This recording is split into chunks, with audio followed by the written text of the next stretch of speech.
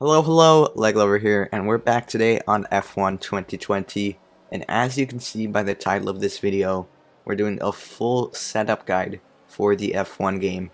I'm to go in detail about each part of the setup and what exactly it does to the car and how it affects the whole car in general.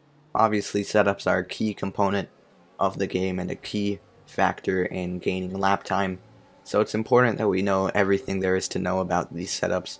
Lots to talk about, and I'm going to have some gameplay running in the background so you have something to watch. But let's get straight into it then, and I hope you enjoy the video. Alright, well, getting straight into it then, before we start talking about each part of the setup, it's important that we know some terms and words and what they mean. Starting off with downforce.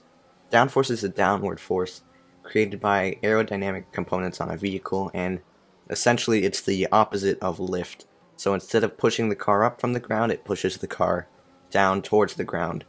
On a car, the purpose of downforce is to increase vertical load on the tires, thus creating more grip and allowing the car to travel faster. Next up, drag, of course. Drag is a direct counterpart to downforce. Drag is a resistant force, similar to friction. This force is opposite to an object's motion, and the faster the object is moving, the more drag there is. Aerodynamic elements not only create downforce, but they also increase drag. It's impossible for a moving object to have zero drag, but aerodynamic elements increase the amount of that resistant force. Then let's move on to understeer and oversteer. Starting off with understeer.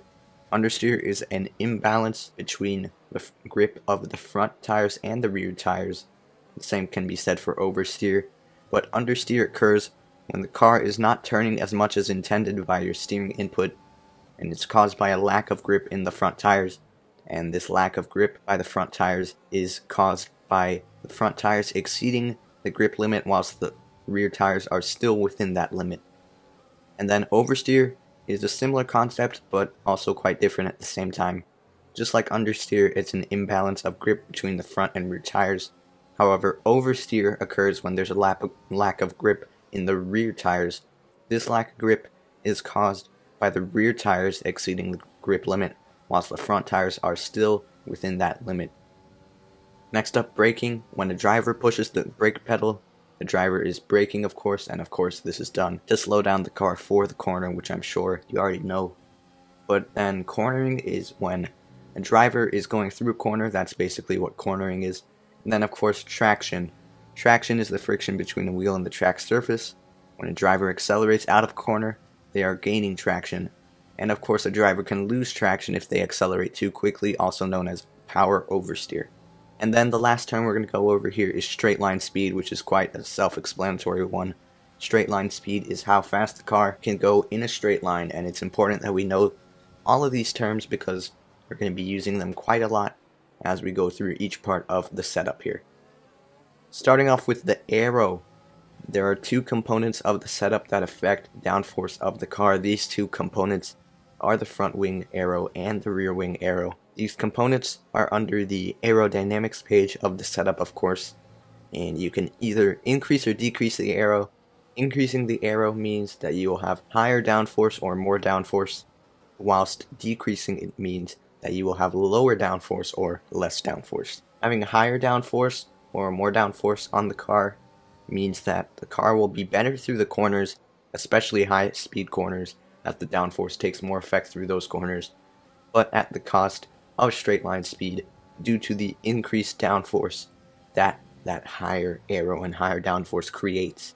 Having more aero on the car means that it will create more drag of course, which slows down the car in a straight line However, if we go in the opposite direction and decrease the amount of downforce, it means that the car will be better on the straights due to lower drag, but at the cost of lower cornering ability because of the lower downforce. Having less front wing aero will cause the car to oversteer more in the corners, especially high speed corners, but then again it will allow for more straight line speed due to less drag. And an important thing to keep in mind is that the front wing affects straight line speed more than any other component of the setup, so it's really important that you get it right for that straight line speed as well as that cornering ability. Having a setup with more front wing aero will cause the car to understeer less in the corners and may possibly cause the car to oversteer since there is more grip created by that more downforce on the front tires and obviously at the cost of straight line speed due to more drag from that increased aero. Now for the rear wing setup with less rear wing aero will cause the car to oversteer more as there is less downforce on the rear tires and it can make the car more unstable at the rear. This will increase the straight line speed of course due to less drag, but at the cost of cornering and traction. The setup with more rear wing aero however will cause the car to oversteer less since there is more downforce at the rear and may possibly cause understeer because that extra downforce is creating more grip on the rear tires and it could create understeer possibly. This will make the car better through the corners and traction zones of course, but then at the cost of straight line speed due to that extra drag. Tracks like Monza, where there's lots of straights and straight line speed is probably the priority, are tracks where it would be best to use a lower downforce setup. Tracks like Monaco, though, where there's plenty of corners and only a few short straights, are tracks where it would be best to use a higher downforce setup. And then tracks like Bahrain or Spa, where there's a good mix of straights and corners, are tracks where you'll want to try and find a good balance between straight line speed and downforce. So that's definitely something that you have to keep in mind. A quick note is that you should always have more rear downforce than front downforce on the car. Having more front downforce than rear downforce does not work well with an F1 car and will cause a major imbalance and major instability in the car and make the car pretty much undrivable. And now onto the transmission and differential settings. The transmission slash differential is basically a part of the car that helps the car move and controls how the wheels rotate relative to each other. In an F1 car, it controls how the two rear wheels rotate relative to each other. There are two components in this page of the setup, the on-throttle differential and the off-throttle differential. The on-throttle differential, of course, affects how the rear tires went up rotate when you're on throttle, and then the off throttle differential affects how the rear wheels rotate when you're off throttle. On throttle means that you're using the throttle pedal slash gas pedal or accelerator or whatever you want to call it, and off throttle means the exact opposite, where you're off the throttle pedal. Now getting into the components themselves, we'll start off with the on throttle differential. This is actually the one that you can change on the MFD while you're out on track and driving having a locked on throttle differential will give the car more traction potential, but at the cost of higher tire wear and a much higher risk of oversteer on traction, also known as power oversteer.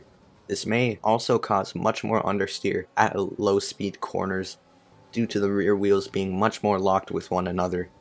Having an unlocked on throttle differential means that the car will have less traction potential, but with the benefits of less tire wear and the benefit of making it easier to catch and correct the car if there is oversteer. It may also allow the car to be much better when exiting low speed corners since an unlocked differential allows the rear tires to rotate more freely from one another. Having a locked off throttle differential will provide a much more stable car but will also create much more understeer mid corner or anywhere that you're off throttle really. On the opposite side, having an unlocked off-throttle differential will give the car much more mid-corner rotation slash off-throttle rotation, but at the cost of much less stability and an increased risk of oversteer when you're off the throttle. I pretty much always use 50% on throttle differential for all tracks, whilst also using a more unlocked off throttle differential. However, the unlocked differential setting for me changes for every track, and then these settings will definitely see a drastic change on the F1 2021 game. Onto the suspension geometry settings then.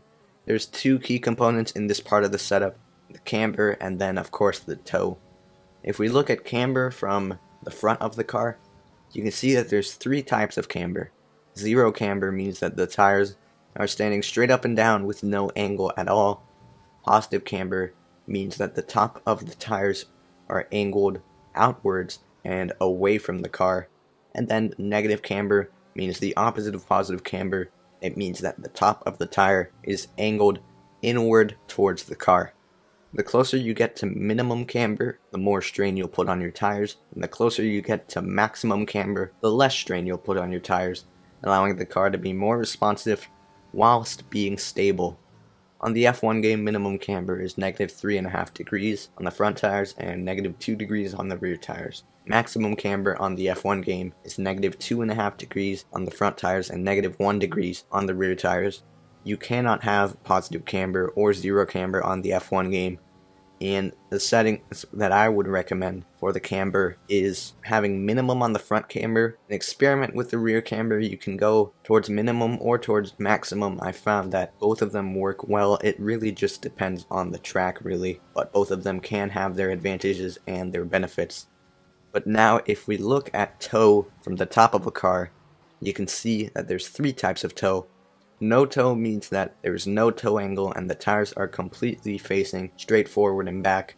Toe in means that the front of the tire is angled inward towards the car, and then toe out means the exact opposite, meaning that the front of the tire is angled outwards away from the car. Having a setup closer to minimum toe means that the car will respond less aggressively on corner entry, but it will also help rotate the car mid-corner much more whereas having a setting closer to maximum toe means that the car will be much better on corner entry at the cost of mid-corner rotation, responsiveness, and stability. You'll find that a setting closer to maximum toe will cause the car to go from very responsive on entry to barely responsive at all mid-corner. And this is why most setups that you see are usually using minimum toe. In my opinion, minimum toe is the best direction to take with your setup and minimum toe on the F1 game is 0.05 degrees on the front tires and 0.2 degrees on the rear tires. Maximum toe on the F1 game is 0.15 degrees on the front tires and 0.5 degrees on the rear tires. You cannot have no toe or toe out on the F1 game. Onto the suspension, there's three components within this page of the setup. The suspension itself, or springs as some people like to call it, the anti-roll bars, and the ride height. The suspension settings will affect how the car drives over curbs and bumps. The suspension settings will also affect tire wear and tire temperatures as well as the overall feel of the car. A softer front suspension will make the front of the car more responsive in the corners. This is great for medium speed and high speed corners, but definitely not as good for lower speed corners. On the opposite side of things, a firmer front suspension will make the car less responsive. A more firm front suspension will be better for low speed corners, but not as good for medium speed and high speed corners. And then for the rear suspension, the softer the rear suspension, the less responsive the rear of the car will be, and then the firmer the rear suspension, the more responsive the car will be. Keep in mind that although a firmer rear suspension is the best dire direction to take, with that setting, it can also be the cause of rear instability if the setting is too firm. So you definitely want to play around with that setting until you find the optimum setting for you on that track. Now onto the anti-roll bars. The anti-roll bars are basically, they affect how much body roll there is in the corners. And the softer the front anti-roll bar, the more responsive the front of the car will be in the corners a softer front anti-roll bar will also help with traction and tire wear. A firmer front anti-roll bar will make the front of the car less responsive through the corners. This of course reduces body roll, but it will also put much more load on the tires. A more firm front anti-roll bar is sometimes the better option, but not on all tracks, so keep that in mind. A softer rear anti-roll bar will make the rear of the car less responsive in the corners whereas a firmer rear anti-roll bar will make the rear of the car more responsive in the corners. This can provide more rotation in the corners, but can also cause instability depending on the type of the corner. The final component of this page of the setup, ride height, which is just how close the bottom side of the car is to the track surface or to the ground. The lower the ride height of the car, the more the car will benefit in a straight line of, at the cost of stability in the corners and on curbs. The higher the ride height of the car, the more the car will benefit in the corners and on curbs, but at the cost of straight line speed. Generally, you want to get the ride height as low as possible without bottoming out, and basically what bottoming out means is when the bottom side of the car hits the ground and causes the car to completely lose grip. That's definitely not what you want in the setup.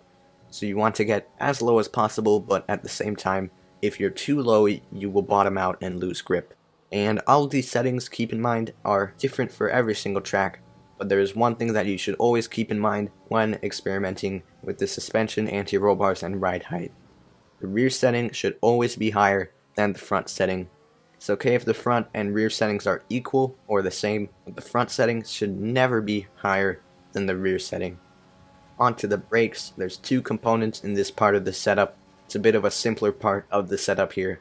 The two components are the brake pressure and the brake bias. Brake pressure is the amount of braking force that goes into the brakes, or how much power the brakes have essentially. A higher brake pressure will allow you to brake later, but it will also make it easier to lock the tires or lose control whilst braking since there's more force going into the brakes and tires in the braking zones. Brake bias is how much braking force is applied to the front tires compared to the rear tires. A higher front brake bias means that more brake bias will be done by the front tires, and less braking will be done by the rear tires. A lower brake bias means the opposite of that, so the front tires will not do as much of the braking, and the rear tires will do a bit more of the braking. A higher brake bias will allow there to be less tire wear on the rear tires, and it will make it much harder to lock the rear tires when braking, but it will also increase front tire wear and make it much easier to lock the front tires when braking. Decreasing the brake bias will do the opposite, of course, making it much harder to lock the front tires and help tire wear on the front tires during the race. But then, of course, it will make it easier for the rear tires to lock under braking and it will increase rear tire wear. The minimum brake bias setting on the F1 2020 game is 50% meaning that the front and rear do equal amounts of braking, and then the maximum brake bias setting on the F1 2020 game is 70%, meaning that the front tires do 70% of the braking and the rear tires do 30% of the braking. The maximum brake pressure on the F1 game is 100% and I believe the the minimum is 80%. I think I'm probably wrong there. 50% brake bias works just fine for every track on the F1 2020 game, but this will definitely not be the case on the F1 2021 game, just based on the gameplay that we've already seen from that game. I'm just assuming that it won't work nearly as well. For the tires, there's four components in this page of the setup, and those are the tire pressures for each individual tire. Tire pressure is how much air there is in the tire. A lower tire pressure will be much better for traction since it allows for more of the tire surface to be touching the track surface, which in turn results in there being more grip. This is, of course, at the cost of straight line speed due to there being more friction due to more of the tire surface touching the track surface.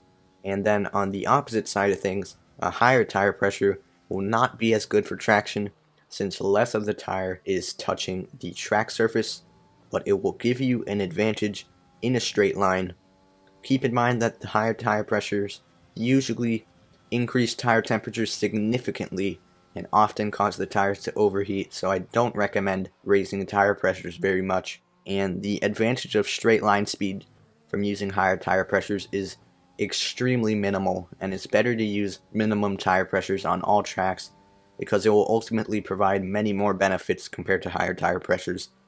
This probably will not be the case on the F1 2021 game, but on the F1 2020 game, minimum tire pressure is the way to go. So now we've gotten through every component of the setup here, and now we're all, there's still some key components that we need to discuss. First of which being, what's the difference between a race setup and a time trial setup? This is a big thing that some people may not know about, but there is a big difference between the two. A race setup really is much more stable and reliable than a time trial setup.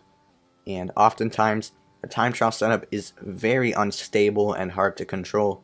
The reason for this is that people are trying to maximize the advantage of high grip, low fuel, and the zero punishment for mistakes in time trial to push to the absolute limit or even past the limit with the setup in order to achieve maximum lap time. The biggest difference that you'll see in a time trial setup compared to a race setup are usually the suspension and anti-roll bar settings. These settings are much more aggressive in a time trial setup, and it's usually the main source of it being unstable and hard to control. A time trial setup is really only useful for time trial as the name says. It really will never work in a race because of the un the unstable nature of such a setup and it will cause you to be much more prone to oversteer and mistakes as well as there being increased tire wear because of that oversteer. A race setup is much more stable, much easier to control, and much easier on the tires and it will allow you to be much less prone to making mistakes. And if you're in a race session, it is definitely the type of setup that you want to use. And it's definitely important to know the difference between the two and when to use each one. Still, more key components of a setup that we need to discuss. That's the difference between a dry and a wet setup. Again, just like the difference between a race and a time trial setup, there are key components and key differences that some people don't know about, and you definitely need to know about them so that you know when to use them and which ones to use. A dry setup is much better suited for dry conditions, as the name suggests, while a wet setup is much better suited for wet conditions, as the name suggests again. A wet setup will usually have higher downforce than a dry setup, especially on the rear of the car. This is because we need to compensate for the decreased grip of the wet conditions by using higher downforce it's common for a wet setup to have lower front downforce and higher rear downforce compared to a dry setup. Not only that, but the uh, suspension, anti-roll bar, and off-throttle differential settings are much less aggressive in a wet setup compared to a dry setup. This is because essentially in a wet setup, it's usually geared towards understeer because it's much easier to oversteer and lose control of the car in wet conditions. So gearing the setup towards more understeer will make it harder to lose the backhand and make it much easier to control the car in the wet conditions. Along with that, the ride height is usually slightly higher in a wet setup compared to a dry setup. This is because of standing water that could be on the track surface, as well as to help with cornering and going over curbs, which is obviously much more difficult in wet conditions. Finally, some key things to ask yourself when making a setup or tweaking a setup. It's very important that you ask yourself these things. Number one, how many corners are there? So, for example, a track like Monza doesn't have very many corners, or a track like Austria doesn't have very many corners. But say a track like Singapore or Monaco, very many corners, so that's something that you have to keep in mind. How many straights are there? Once again, a track like Monza, lots of straights but then a track like Monaco, not very many straights at all. What types of corners are there? So are they low speed corners, high speed corners, medium speed corners? Do you need higher downforce, lower downforce? How long are the straights? So along with how many straights there are, how long are the straights and how low downforce do you need for the straights? How aggressive are the curbs? So a track with more aggressive curbs like maybe Vietnam, you want to change the suspension settings accordingly so that you can use those curves better. How bumpy is the track surface that again affects the suspension settings. And then finally, what are you trying to gain out of the car by changing these settings? It's very important that you keep all of these in mind when making a setup on the F1 game. Well then, that's it for this video. Definitely a pretty long video because there was a lot of stuff to cover, but it's important that we covered all of it and I really hope this helped you, and I really hope that you can carry this knowledge over to when you're making your own setups or tweaking your own setups so you can find some lap time, really fine tune the car to your driving style, and get the upper hand on your opponents. But guys, that's going to be it for this video then. If you did enjoy it, make sure to leave a like and subscribe as I post F1 content three times per week, Sundays, Tuesdays, and Thursdays. Thank you all so much for watching this video, and I'll see you in the next one. Goodbye.